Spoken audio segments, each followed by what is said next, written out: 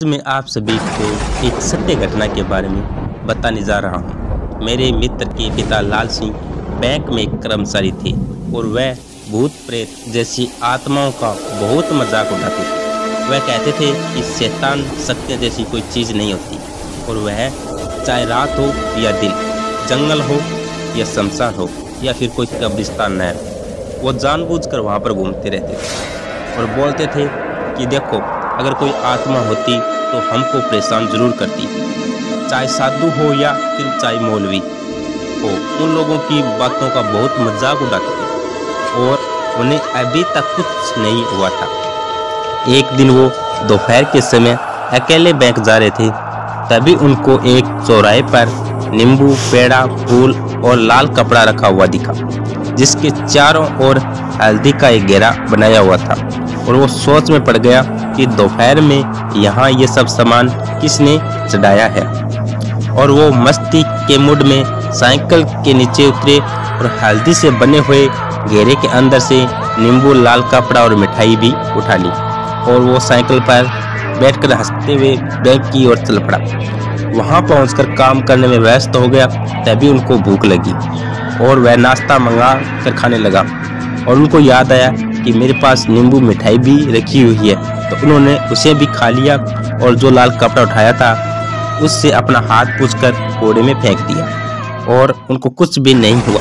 जैसे जैसे दिन ढलने लगा, रात होने लगी वैसे वैसे उसका सिर भारी होने लगा और वह घर आ गया।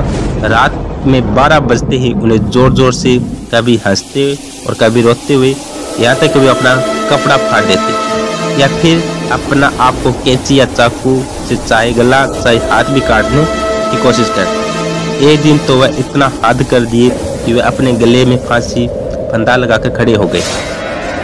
तब उनकी पत्नी ने उन्हें देख लिया और छुड़ाया और पूछने लगी, अरे, आपको क्या हो गया है? जो आप ऐसी हरकतें करने लग गई तो वे कुछ नहीं बोले, जैसे कोई पागल कोई बात को सुन रहा हो। उनकी और परेशान होकर डॉक्टर के घर पहुँची और उनका इलाज करने को कहा। हालाँकि डॉक्टर को बीमारी समझ में नहीं आई। फिर भी वह उनको ग्लूकोज की बोतल चढ़ाना चालू कर दिया। धीरे धीरे कुछ दिन बीतते गए। लाल सिंह की तबीयत मानो कैंसर के मरीज़ से भी बेहतर हो गई। तब उनकी पत्नी ने एक अघोरी बाबा को दिखाया और अघोरी बाबा की समझ में सारी बात आ गई। उन्होंने कहा कि उन्होंने चार रास्तों पर पड़े सामान को उठा लिया था। उसी का नतीजा है। लाल सिंह की पत्नी ने पूछा, कैसे? अब गोई ने बताया कि चार रास्ते पर एक आदमी ने किसी झाड़ू फूकर उसकी आत्मा को आज़ाद किया। और जैसे ही उसका सारा सामान चढ़ाकर पीछा छुटाया, वैसे ही वहाँ पहुंचकर सारा सामान उठाकर खा लिए होंगे, तभी आत्मा उनको परेशान कर रही है। लाल सिंह की पत्नी रोने लगी और अगोरी को पाँव पकड़ पकड़ लिया। बोली, बाबा अब आपका ही सहारा है।